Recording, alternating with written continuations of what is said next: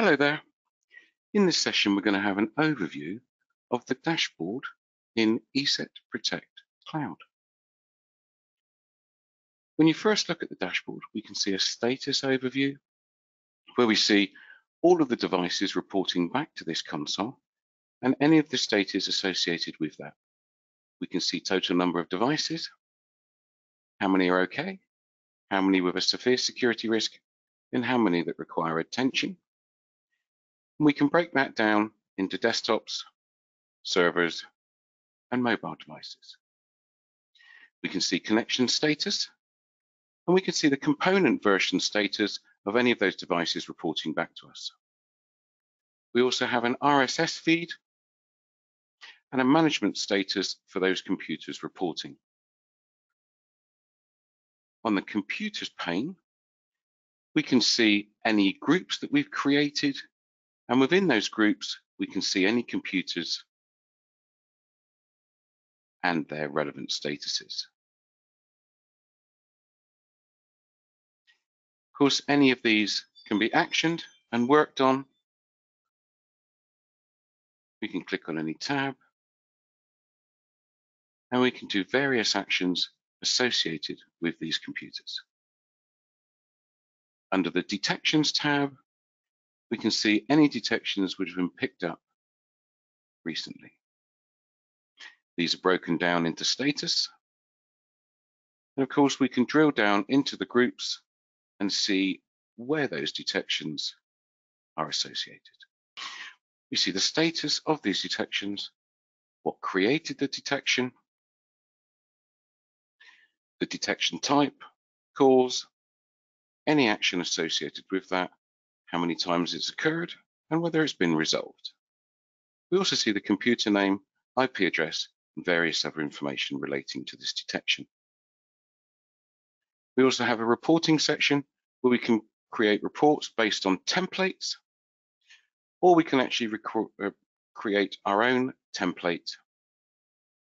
And we can see any scheduled reports if we have any ready to go. We have a section where we can create some tasks, and these tasks will be triggered.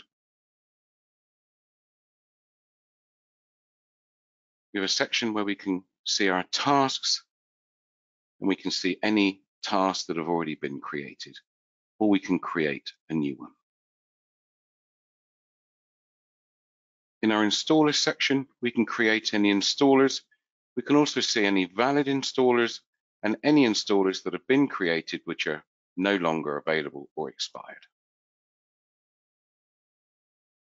Any policies we've created will appear in policy section.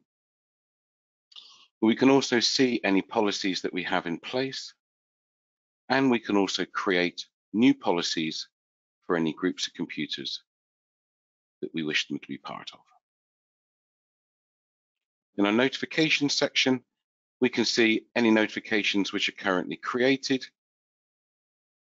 And if required, we can create some new notifications and we can choose whether they're enabled or disabled. We also have a status overview where we can see the status of our current network. We can see licenses, licenses that are available and any that are expiring. We can see information about the agents, management agent, we can see how many computers are connecting, the ESET components and security products, mobile devices, and any invalid objects which are tasks or notifications on this particular network.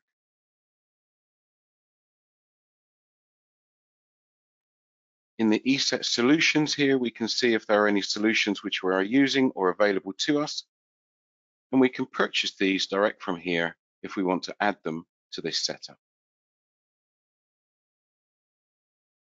Under the More section, we can see information on detections under submitted files, exclusions, quarantine. We can see computer users, dynamic group templates. We can go to license management. We can see our user rights and permission sets for our access. We can look at the audit report for users which have logged in using this Protect Cloud console. and we can go to our settings to change any settings for this setup. You'll also notice that we have some quick links, which will take us directly to various areas. You'll also notice that we have a help section here, where we can take us to our knowledge base, support forum, we can contact support directly, and we can also visit WeLiveSecurity, ESET's own security blog. We can see who's logged in, and we can log out if required. ESET Digital Security. Progress. Protected.